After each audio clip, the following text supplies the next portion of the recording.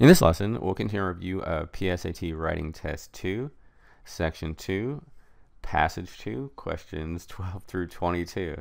That was a lot of twos. All right, second passage, a study in Arctic migration. Each year, many species of shorebirds migrate from locations in the southern hemisphere to their breeding grounds in the Arctic, a journey of thousands of kilometers that requires frequent stops to fuel up. And so we have to link these two. You can't just have this period of journey. We want to link the two together. And how do we do it? We have this independent clause. We can simply put a comma and then a journey of a thousand kilometers. That's a noun clause and it's an appositive. And this is one of the ways you can link an independent clause with a dependent clause. We can't just put the, the period here. It doesn't really connect. And so the answer here is B. The risk of death is significant, and the Arctic is an inhospitable region for most of the year, yet the shorebirds never failing to make their annual pilgrimage. And so here another independent clause, comma, yet conjunction. The shorebirds never failing. And so here we have this participle. That really doesn't make sense. You should be recognized here it's the shorebirds never fail to make with the infinitive never fail to make, not never failing to make. And so that one is C. Whoops.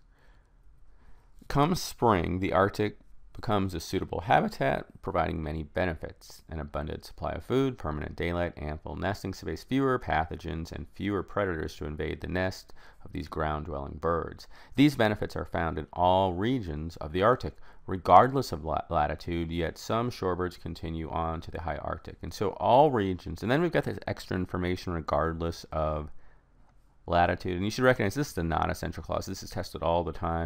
It doesn't change the meaning of the subject, just gives extra information. And the way to test it, you could always link. You could just cross it out.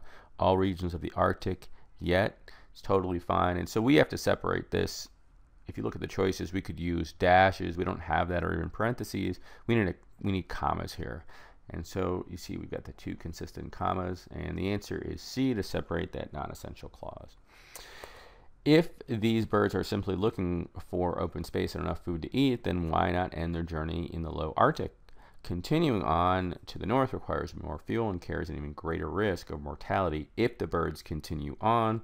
The most likely reason certain shorebirds head to the high Arctic is to escape their predators. And so, question 15, we see continuing on to the north requires more fuel and carries even greater risk of mortality if the birds continue on. And so they put a lot of space here, but they this is definitely re repetitive, right? It's just saying the same thing. So we can't have continue on, we can't have keep going.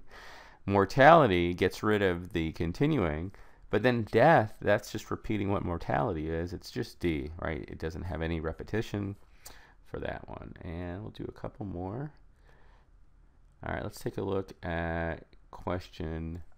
It's a new paragraph for 16. Now we see these brackets. There will be a question about sentence order.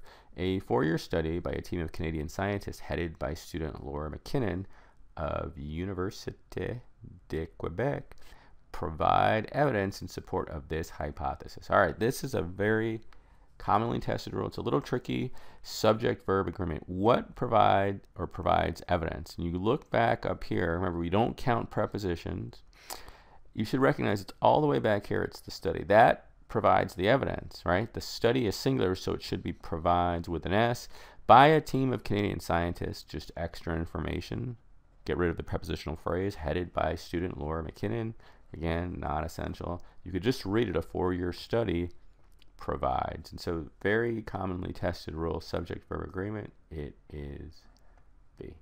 And we'll stop here for this video.